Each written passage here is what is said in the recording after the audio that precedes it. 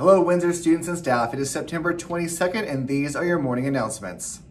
You gotta keep them separated.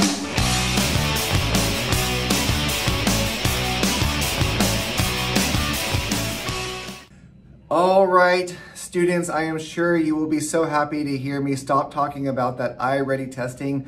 We only have about maybe 10, 15% of you left that need to finish that, and it really needs to be done before the end of the day on Wednesday. Uh, Suzanne and Juanita are calling home, trying to encourage you and your parents to get that done uh, so we can not have to think about it for months and months and months.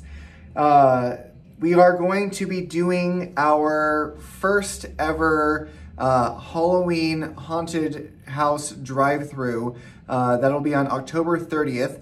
Uh, so we are looking if you have for any uh, donations of decorations that you have. So maybe you have some old Halloween stuff that you're not using anymore. Um, if you could drop those off by the school. We would really appreciate it. And speaking of donating, I sent a bunch of information out to your parents about Project Hero. Um, so we're really asking um, for families if they could, if they could sign up to do a recurring donation of $10 per month.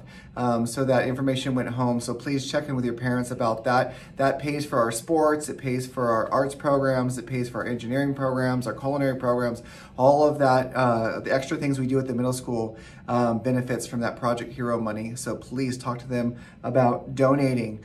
All right, our trivia winner, congratulations to Logan Williams.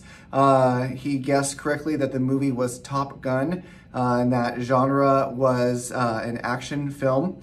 Uh, we also delivered our uh, daily winner prizes as well as our trivia winner prize. Um, so our big trivia winner um, that we talked about yesterday was Samuel Chewinian. Um, he was uh, pulled from that raffle. Uh, so continue to, anytime throughout the day that you send in that correct response, we will put you in for the raffle.